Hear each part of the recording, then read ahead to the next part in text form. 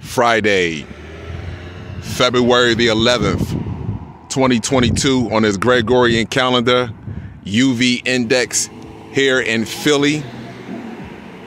We're at a 7.5. We had a 7, 7.5. 12 p.m. Eastern Standard Time. UV index here in Philly, we at a 7.5. Anything over level 3 starts to give other races the highest form of cancer, which is melanoma. Melanoma. Search up photodermatitis. Photodermatitis is an allergic reaction to the sun. It doesn't make a difference what the temperature is outside. The ozone layer is being removed. We are under cosmic surgery. UVC radiation update is next. Whoa, it went up to an 8. Whoa, 7.5. Oh, an 8. It's going to be a saucy summer. It's going to be a saucy summer. UVC radiation update is next. UVC radiation is at a 22. Is at a 22. UVC radiation used to dissipate when it hits the ozone layer.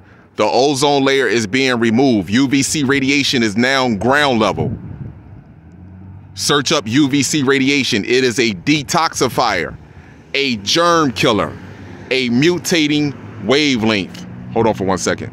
My bad, people. I wanted to sit that up there so I could take that out my hand. UVC radiation is a detoxifier. Woo, you seen Star Family? Is a detoxifier, a germ killer, a mutating wavelength. We are all under cosmic surgery. As it was in the beginning, so shall it be in the end, my brothers and sisters. This is an amazing time to be alive, amazing time to be organic to the planet, even more amazing to show your own brothers and sisters their own individual light so we can do collectively what the sun and the universe is doing, so we can do in the flesh what the sun and the universe is doing. As above, so below. I value you, my brothers and sisters.